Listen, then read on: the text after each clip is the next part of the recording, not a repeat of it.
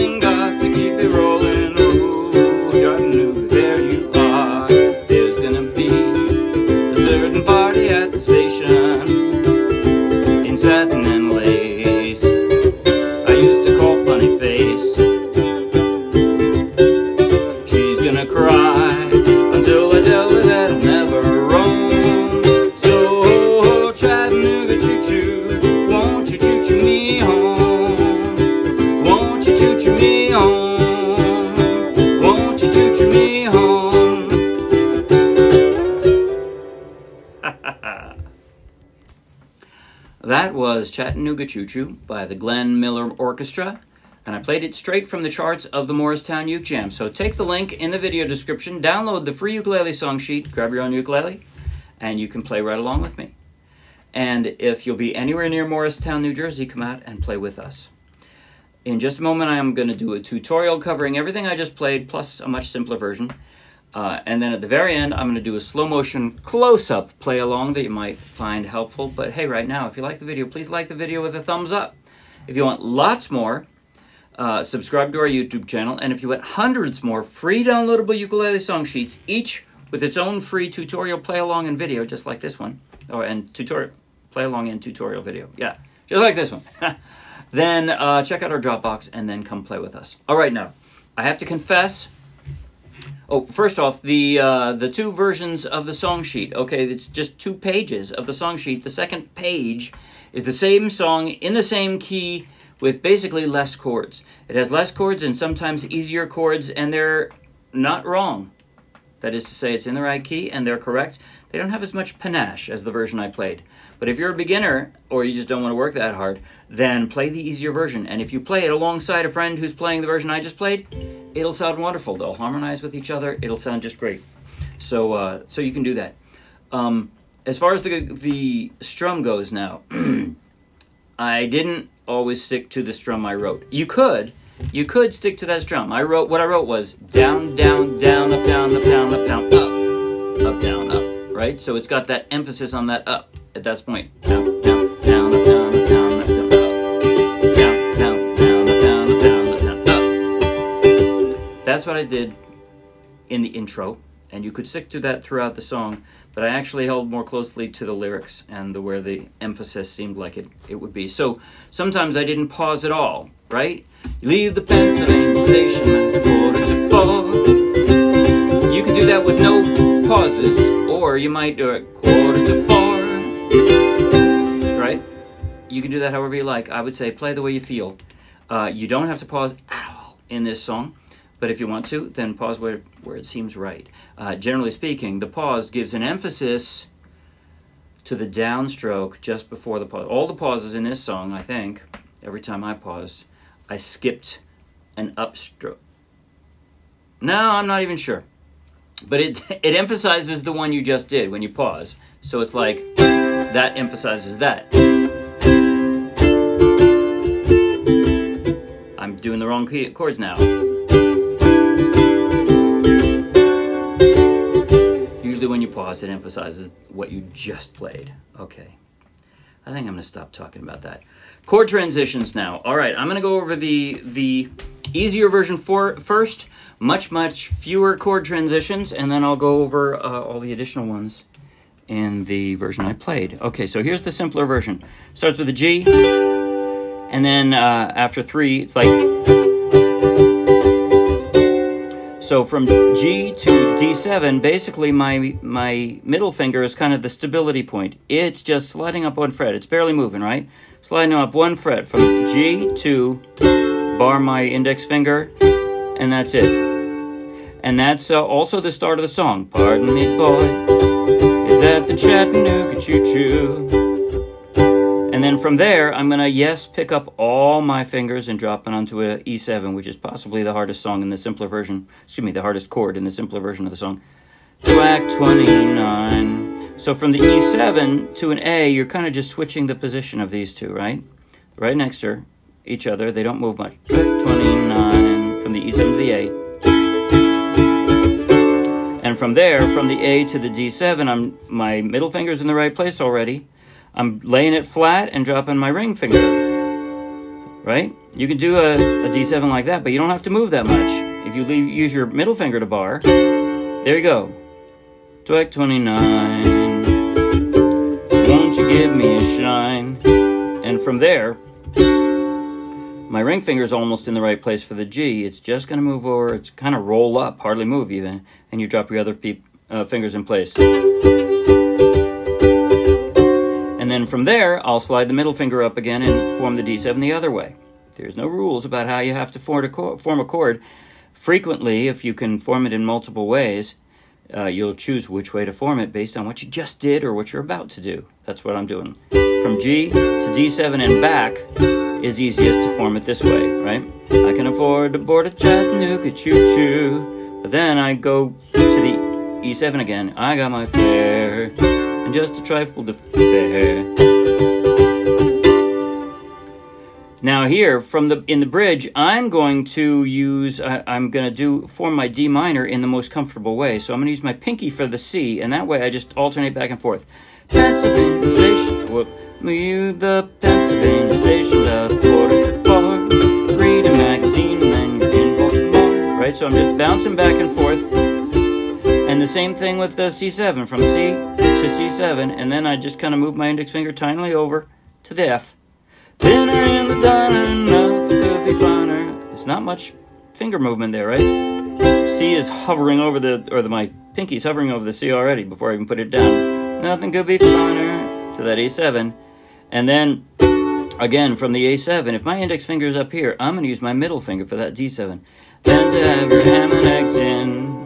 Now, my middle finger's almost in the right place for the F.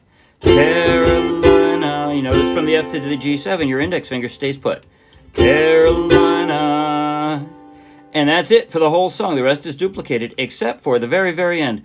Won't you choo choo me home? Oh, sorry. won't you, won't you choo choo me home? There we go. Sorry. So Chattanooga choo choo, won't you choo choo me home? I'm just sliding like I did before. Won't you choo choo me home? And then the very last, won't you choo choo me home? Up on the seventh fret. All right. Or you can slide it, kind of, but slide doesn't work quite as well on the G as if you use the chord I use in the in the more complex version. Okay, now the complex uh, chord transitions. Here we go. They're not that complex, actually. They work very nicely. That that is to say, your fingers kind of dance around. They don't have to move as much as you'd think. And even though there is what that 18 chords in this song uh, that I use, uh, or something like that it's just not that hard. It really isn't because of the way the uh, the chords uh, fit with your fingers, the way they you can dance them. So here's what I mean: a G to a G6, you just pick up a finger, and there you go. To a C6, pick them both of them, and now I form the D7, G, G6, C6.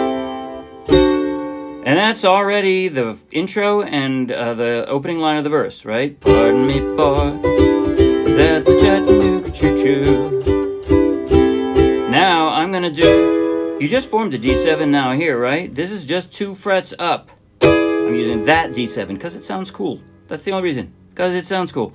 Track 29. Now you notice, that's just E7A, but instead I've got it up here. I got my fare. Oh, sorry, track 29. And then from here, so I've, I got the E7, then I leave that bar there, and then I slide the bar down one, and I do a D7 shape on the third fret. So for a D sharp 7, then slide it down. That's it. So I, I got, oh, sorry, too high. It's track 29. Now sliding down. Won't you give me a shine? By the way, I frequently we'll drop the pinky in just for a little panache. So, sorry. Just like that. That's all. You don't have to do it, but you can if you want. I can afford to go to Chattanooga choo-choo. Same as before. I got my fare and just a trifle to spare. Now on that stop, actually stop it. Like stop it probably with your right hand. So all the music stops. For drama. That's what it's for. Then here, I'm going to leave my pinky uh, right there glued to the fretboard. You leave the pencil station. Okay, only for those chords. So, C, D minor 7, pick it up again, C, and now drop it down and pick up the pinky. And from the D minor to G7, you're just moving these fingers over, right? Your index finger stays glued there. That's your anchor point. And then I'm using my pinky again. Read magazine and then. Now move it, move your index finger just barely over and you got your F. Dinner in the diner. So that's how I'm doing that F sharp diminished seventh. I'm barring second fret and dropping two fingers down on the third fret.